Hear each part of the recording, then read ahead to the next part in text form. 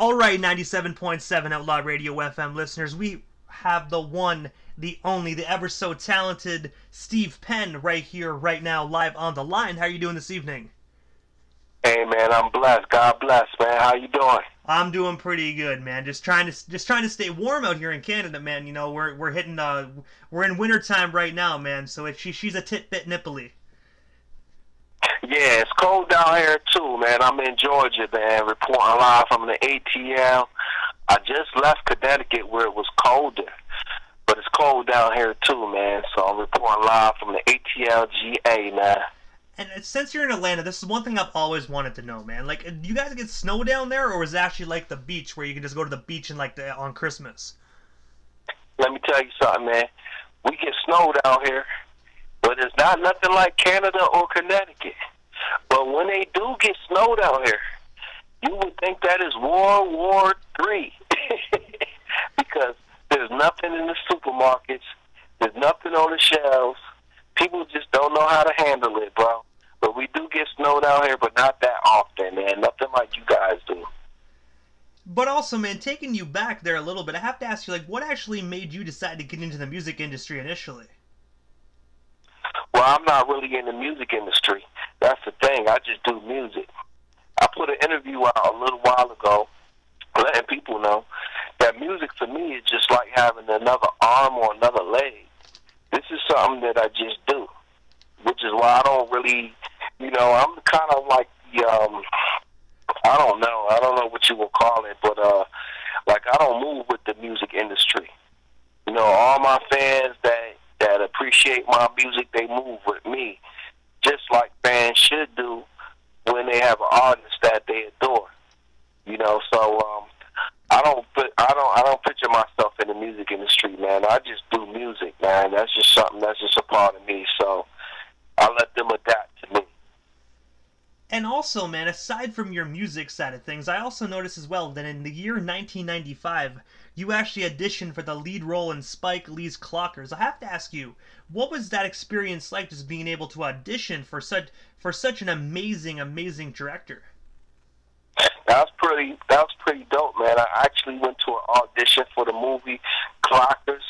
I actually went for a friend, you know, because the friend was actually the person that was going for the role and he asked me to go with him, ride train with him, and be, you know, next to him while, you know, he goes in audition for Spike Lee. And um, I went there and I dressed up, you know, I got real fly, you know what I'm saying? I put on my Puma suede and all of that. And then, like, they basically skipped him and was like, yo, you, we want you to come back. And so what transition was me actually shooting for a role for the lead role, which Mekhi Phifer, uh, you know, everybody knows Mekhi Phifer. Mekhi Phifer eventually got the lead role, but that was the role that I was going for, and it was just by happenstance. Like I, I just went in support of another person, and I ended up shooting for like six months. I didn't get the lead role, but it was a cool experience, man. I got to chop it up with Spike Lee. I got to sit next to him. I got to talk to him. I, I was able to give him a demo. You know what I mean? And um, it was just a cool experience, man. Something that I could put in my resume. And also, as well, man, like, uh, because you said you were filming for like six months, so there must they must actually have footage of you actually playing Mekhi Phifer's role. You never know, maybe with like an they might have bring out an anniversary uh spe- like anniversary version. They might actually release that as a special as a uh, sorry as a special features. Yeah, well, I I, I doubt that uh, will ever happen because anything, uh, only thing that translated from that was me taking a bunch of still shots of deaf people. You know, if you're looking at if you look at the beginning of the movie of Clockers, you'll see a whole bunch of people that was dead, shot in the head. You know, laying across couches, couches slumped over. You know, you might find me in there, but um, that's not what I shot for. He may have those that footage, but I don't have that footage, unfortunately. But nevertheless, like I said, it was a good experience, and um, big up to Spike Lee, man, and I hope to do something in the future. You know what I'm saying? Like, you know, I may hit Spike right now. He don't know, may may not have no idea who I am, but um, but it was a good experience, and so I look forward to doing more like movie stuff in the future. You know, so yeah, it was pretty dope, man. And also, you are the CEO as well of uh, Steve Penn Music. I have to ask you, what's the story behind that company? And of course, like, uh, what services do you guys offer to the general public? Well, basically, man, you know, we don't really stream a lot of music. I think that streaming is good for a lot of different um, artists, but for artists, all the independent artists out there, I really think that you need to use streaming to your advantage. I don't think that is wise to put your main catalog on streaming platforms. I think you it's okay to um, you know to um, play with the idea of streaming different um, music that you may have, but maybe for your for your your your, your main your main um, archives catalogs, I think that is essential that artists have you know their own platforms such as their own websites. StevePennMusic.com is exactly that. You know, like all the albums or full catalogs that I may drop, you can only get them on Steve Music. You know what I'm saying? I have a few songs out there for Spotify and iTunes. I don't really like the whole idea that these streaming platforms are paying less than a penny, you know, per stream, like zero point zero zero zero three four, whatever the numbers is. It's not even a penny. I don't even know what that math is. I don't think we learn that type of math in school. You got these artists out here, you know, they're really fighting over, you know, streams. You got artists saying stream for stream, play for play, follow for follow. And it's just like a big guy over here, you know, with a big piece of chicken bone. And you got all these artists fighting over this chicken bone. And so that's why, you know, I'm doing Steve Penn music anybody that's feeling me, my true fans that love me, I feel like real fans are gonna follow you. They're not just gonna stream your music, they're gonna actually pay for it. People are not paying for music because they don't have to no more. If your artists are paying putting uh all your music out there for free, then who's gonna pay for it? So it's really the artist's fault that art or that consumers are not paying for music. And so that's the whole purpose of StevePennMusic.com. And I have to agree with you, man. It, it, it's very shisty that these that these uh, music platforms are actually doing that. In my personal opinion, what what I think they should do, just like when you go out and buy a CD, you know, say like your CD's ten songs. If someone listens to your CD from track one to say track ten, that should be ten bucks. You know what I mean? Like narrow it down ten bucks. That's what I mean. That's what they should be doing, but they're not. Unfortunately, they want to rip off the middleman. Yeah, and I don't think that's good, man. And I think that you know artists need to wake up. You know, you know, back in the day, you'll hear a bunch of artists talking about how the music industry has jerked them or whatever. But I really feel like it's the same thing that's going on today. You know, artists are so thirsty about getting on, and the main big head honchos know this, and so they they can manipulate the game to make you fight for, you know, recognition really, honestly, man, it's okay to use the streaming platforms because I think it's a great idea. But you gotta you gotta use it to your advantage. It's just another tool. That doesn't mean you put your albums up there. That don't mean that you put your main shit up there. That just means you put the songs out there if you're collaborating with other independent artists and you don't really want to get in bed with them business wise, then you know, put it up there to stream and let them get their ISRC codes and barcodes and let them calculate they and keeping track with their own musical streams and things like that. But for your own independent releases, I think you every artist should have a hub. I think that every artist should not fall into the trap of, you know, get stuck in the idea of how many views you have. I think that email addresses and things like that are more important than how many views you have. Because personally, I will have I would, I would rather have 500 email addresses of true fans than 50,000 viewers that I don't have email addresses on. And I think this is the way that the industry is moving. And I will be having some like some lectures and some seminars, you know, based on that. And um, it's trying. It's time to take the uh, the power and the control of the independent artist music back. And I most definitely agree with you, man. Like me personally, I don't even use Spotify or anything of that nature. Um, I don't even have that stuff on my phone, man. I would, I will actually buy people's music. If I really support an individual, I'll buy the single, but I won't stream it, man. That's why I was really upset when Google Play Music switched over to YouTube Music, because that was my main source to purchase songs. Now I got to go through Amazon, which I I can't stand Amazon, man, because they always like charge my card for like fees that I didn't that I didn't purchase. I hate it, but. Yeah, you well, well, you know what? It's not totally their fault, man. It's some of the, it's a lot of the artists' fault because they don't know no better. Like these art, these artists are miseducated, like people back in the day that was getting jerked for deals. It's the same thing that's going on. These same people that was jerking people for deals a long time ago are the same people that's sitting behind the walls of Spotify and iTunes and all these other um, platforms and big up because they're doing good things. What they're doing is not bad, but it's totally up to the artist to decipher which way they want to use these platforms. You know, if you think that loading up your uh, loading up your full LP or your album to Spotify, you're gonna get just due. Sadly mistaken. You're better off having your artist, your consumers follow you. Like if they really support you, they're gonna support you. If they're not gonna support you, then fine. Those are not the people that's supposed to be supporting you anyway. And that's how I move, and that's how my crew move. You know, the, we got all these people out here trying to do this and that and the third with uh, streaming. We're totally against it. We're not totally against it, but we're going to use it to our advantage and use it how it's just a tool. Use it for what it's for.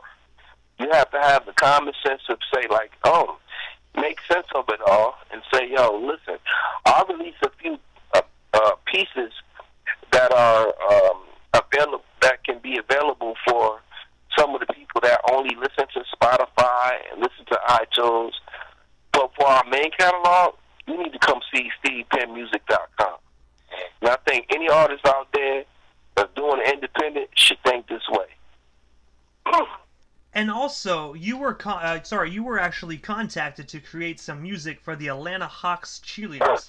I have to ask you, man, how did that opportunity come to be for you? And of course, what was it like actually just being able to work alongside the Atlanta Hawks? Well, that was pretty dope, man. Because I'm surprised you even know about that. But um, um, it was a cheerleader. It was a lady that was running for Miss Pageant of Atlanta she wanted me to uh, create a routine so she can do her uh, her routine to uh, so that she can solidify her spot in uh, Miss America wherever it was, whatever it was. I don't even know, but it was cool, man. It, you know, it pushed it pushed my limits. I knew I, I know I know that I'm an artist that could do any type of music.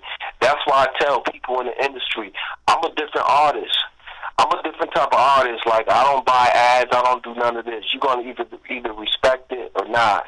And so with that particular project, you know, really pushed my creativity.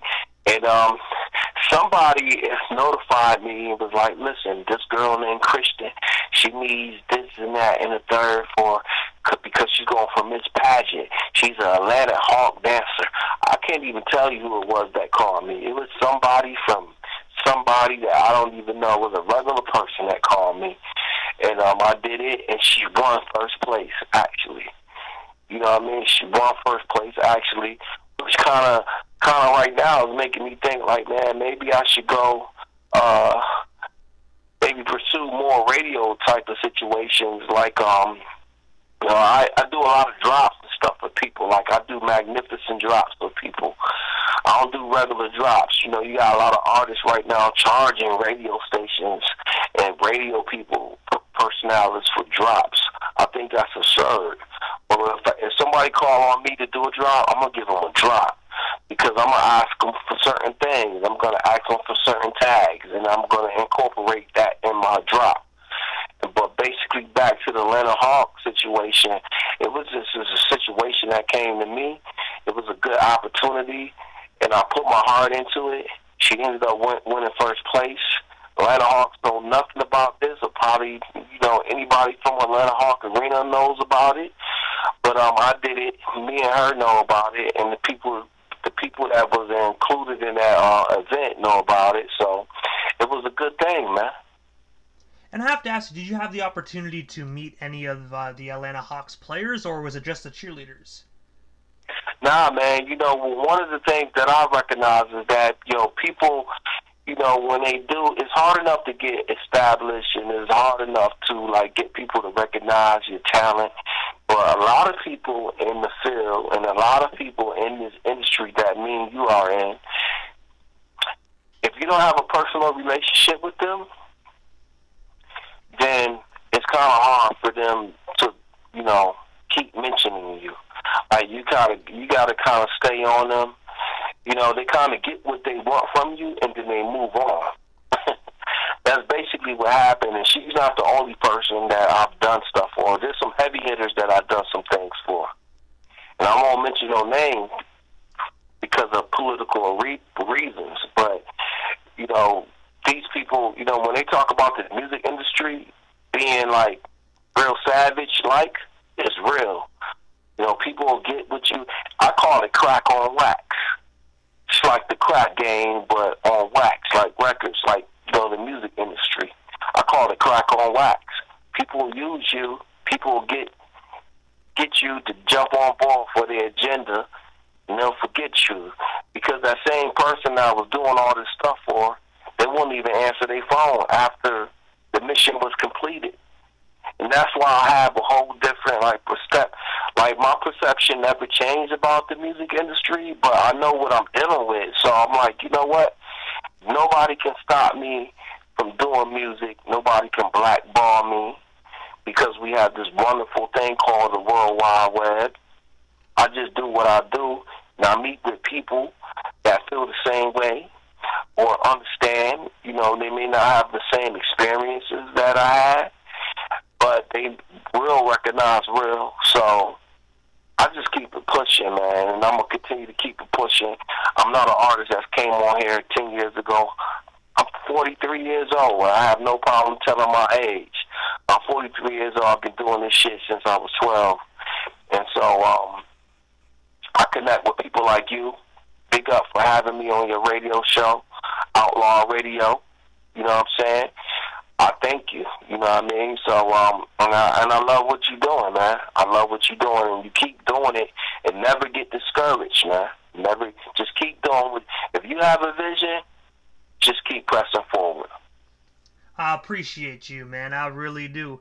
But also, man, speaking of uh, radio, man, you also have your own radio show called uh, Two True Radio. I was wondering if you tell us the story behind that, man, and of course, where can we check that out? Well, I don't have Two True Radio right now. Actually, Two True Radio took place back in early like 2000, maybe 2009, 2008. But Two True Radio was basically, you know, where we um, give, give gave light to un- independent artists. Two True was a guy that moved all the way from California down here to Atlanta, Georgia, because I only submitted some music to him, and he liked me so much that he wanted to do a whole show with me. This was back on Blog Talk Radio, and we had a problem with it because Blog Talk Radio didn't have good quality. We was always talking about how we could make our quality better. Now we look back 15, 10 years later, everybody has a digital radio station now where you can plug it into your car and it sounds good. Well, back then, it was raw, Just like hip hop, we didn't have, it was an introduction to online radio. So I had True Radio where I did, um, I designed, I crafted, uh, you know, intros and um, commercials and drops and I introduced and we introduced uh, independent artists from all over. And um, you couldn't listen to it how we listening to you now. You had to listen to it through your phone. That was the only way that you could listen to it. And um, somebody told me, yo, you'll get another shot one day again to do it again. But I just never felt, you know, I never felt the need to like pursue it because I wasn't a true radio personalist.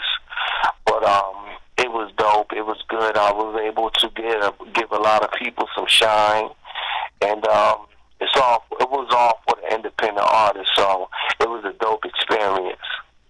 And I would be honest, man, running a podcast and radio show is fun, man. But the one thing that I actually enjoy more than doing that, man, is actually turning that podcast into a, ra- a full full fledged radio station, man.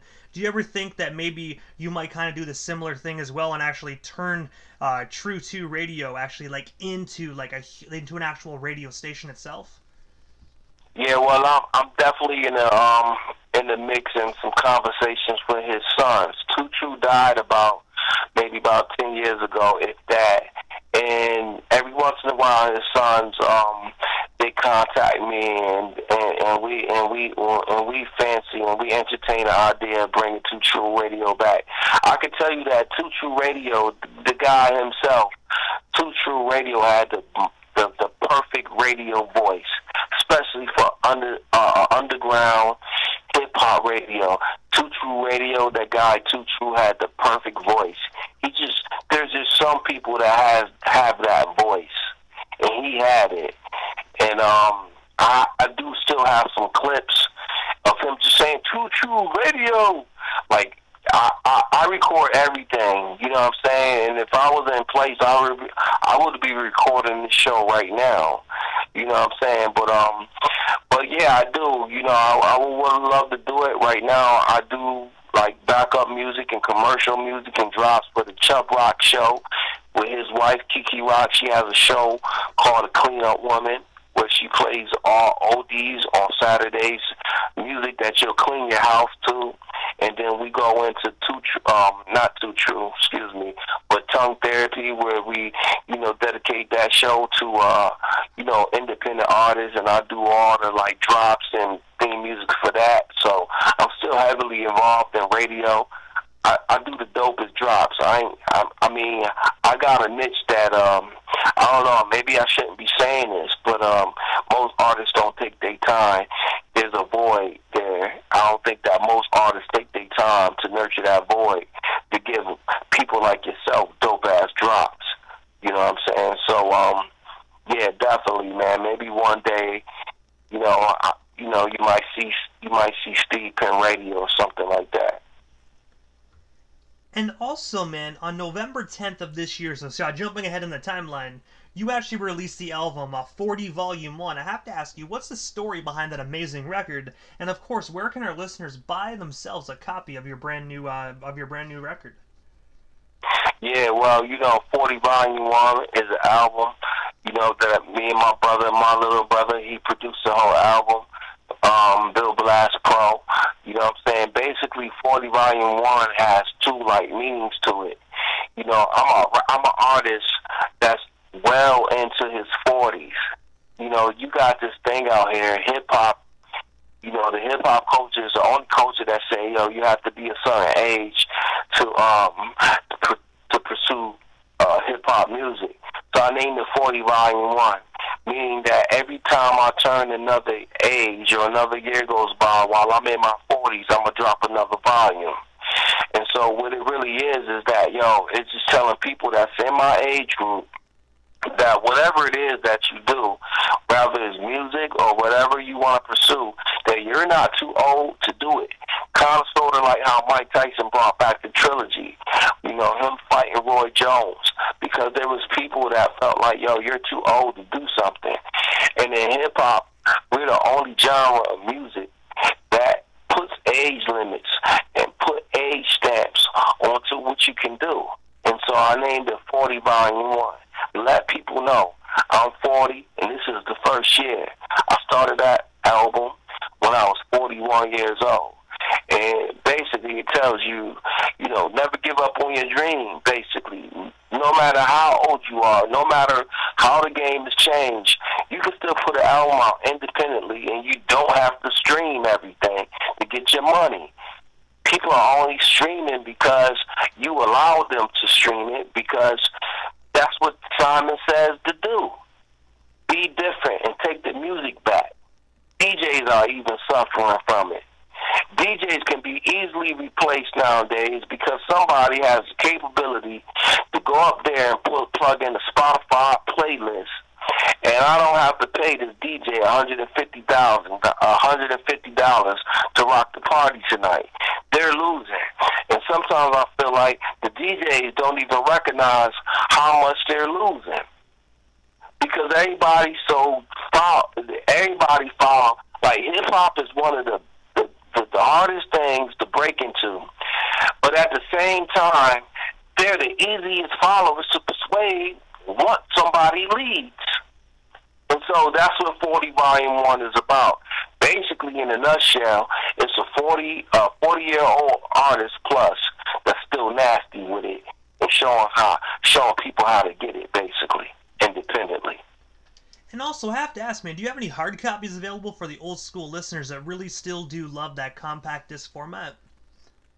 Well, well, what we plan on doing right now is, um, you know, everybody who bought the first couple hours, uh, albums. Um, we are planning to push it up on vinyl, not CD, but vinyl. We want to be able to give you an album sleeve and an album cover with some wax in it. And so, being that we're independent artists and we're real people and we have real like situations, um, uh, I, I try to include everybody on the email list, which you are on my email list. And so when we come up with the um, like the hard sleeve, like we want to do vinyl, so people can have it as collector's items, and we want to give everybody who actually bought the album, because amazingly, you know, and I'm glad that I have the opportunity to say this, but amazingly, like all the people that was pushing me to do the album and was waiting for me to do the album. There's only like two people out of 300 people that was, you know, that I would have thought that would have bought the album as soon as I dropped it. All I heard was crickets. Most of my sales came from people that I didn't even know. I didn't even know these people when they bought them, and I did more. I, I did more. I did more volume than somebody that has a hundred thousand streams. I did more. I, I made more independently. My reach may not have been as far, money wise, I did more than somebody that would have bought a hundred dollar streams, pushing it with no advertisement, just by word of mouth, and dealing with beautiful people like yourself. I've got. I made more money than someone that has made a hundred thousand streams. So if that's not something to tell all the independent artists, like it's cool to to fool with the whole streaming thing, but never put your whole, but never put all your eggs in one basket. Use it accordingly. And I have to ask you, Steve, what is next for you? Is there anything I happened to miss during this interview? Anything else you still would like to promote? We still have you here live on 97.7 Outlaw Radio FM. Well, definitely, man. One of the things that I would love to promote because you can get all the access right here on www StevePennMusic.com. I will be doing some motivational speaking because there's some people, we got a lot of dead rappers going around. I think this is something that needs to be addressed. Nobody's addressing it. We got a song called Put the Guns Down. It's dedicated to that. You know what I'm saying? And, um, you know, so I'll, I'll be doing some speaking engagements anybody that you know is interested on learning more about it, they can definitely w, uh, visit www.stevepennmusic.com. Then I, I'm following up with another album called Something New Under the Sun. You know, my whole concept under that is that everybody would tell you, well, I don't care who did what, who did this, who did this. There is nothing new under the sun. I beg to differ. I think everything that's created that is new, even outlaw radio, is something new under the sun because it's never been done before. And I think that people that say that there's nothing new under the sun, they kind of come across to me as haters. You know what I'm saying? So my next album it's not got nothing to do with the 40 volume 1 series that I plan on making. It's an off album to the left album. It's called Something New Under the Sun and that will be dropping pretty soon. I look forward to see, having that out there by like maybe like like late late spring, early summer. So you guys be looking for that. But 40 Volume One still out there. It's 11 track banger. You know, I let some of them out. I let some of the singles out. But uh, man, I got a lot of stuff, man. Like uh, I don't know. Just follow me on FB and all of that stuff. You'll see what I'm. You know, you'll see how I feel about other artists and um you know, get to really know me, man. Know what I mean? So uh, I appreciate you for having me, man. And also, quickly, Steve, this is the time in the interview that I give a chance for the individual that slides into the radio station airwaves. Just a chance to give shoutouts to whomever they want to give shoutouts to. And of course, man, if you can, drop them social media handles. That way our listeners can follow you and stay updated on everything Steve Penn music if they're not already doing so. Well, most definitely, man. I want you to. I want. I want to give a big shout out to my little brother, man. My brother Bill Blasco. I want to give a um, shout out to my to my boy DJ Ray Battle, the Boom Boom Room. My boy DJ Sean Swift is all DJs that support me. Like DJs are mad important. Like people are really forgetting the essence and what role that DJs truly play in a role of hip hop and getting noticed. Everybody that's uh, bought the 40 volume one, big up. I, I'll definitely be hitting you with that vinyl pretty soon for the real DJs that like the needle on wax.